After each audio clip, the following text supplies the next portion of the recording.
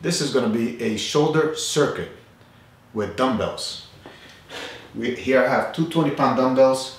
The first of the exercises is going to be with the thumb front, is going to be a front delt raise with thumbs pointing to the sky, just like so. Then we're going to do a lateral raise with thumb slightly pointing towards the floor, just like so. The next exercise is going to be a the, the lateral raise pinky to the sky. We're to come up on this exercise to about a 45 degree angle. We're not to go past 45 degrees. Just like so. This is normal speed.